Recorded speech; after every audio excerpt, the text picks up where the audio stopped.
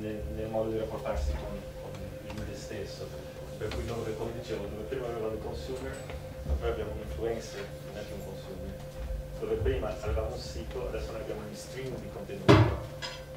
E dove prima avevamo, avevamo un hypertext dei link, qua abbiamo un contesto, che è soprattutto il, eh, quando si parla di questo, il dove serve questa cosa la parola mashup funziona, eh, vuol dire esattamente questo, che vuol dire prendere dei contenuti altrove e, e mashup è accrocchio e, e metterli insieme. No?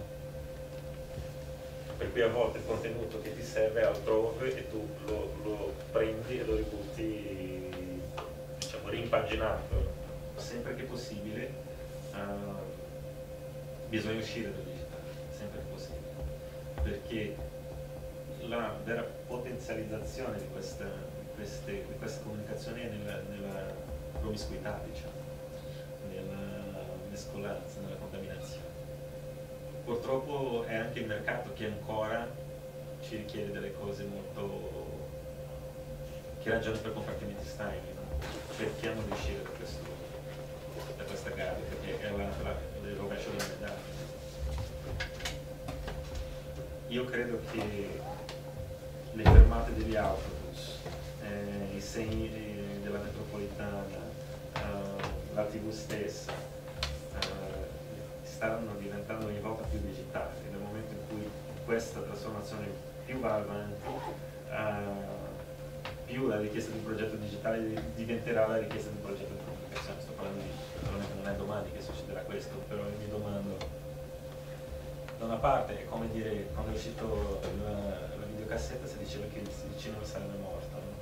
quando è uscita la, la fotografia si, dire, si, diceva che la, la pittura era morta eh, e così via. Io non credo che la carta morirà mai. Quando si parla di comunicazione in senso lato, io credo che, non dico che non ci sarà la fissione, però la fissione col QR code sì.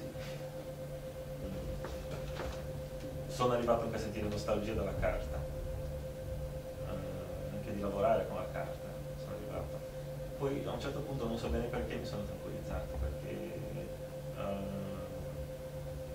così come cioè, il cinema esiste ancora e la pittura esiste ancora, quindi uh, sono delle cose che eh, la fotografia ha liberato la pittura di essere uh, ritrattistica, non so come dirlo, di ritrattare la realtà. È, è stato forse grazie alla qualche modo, grazie alla fotografia,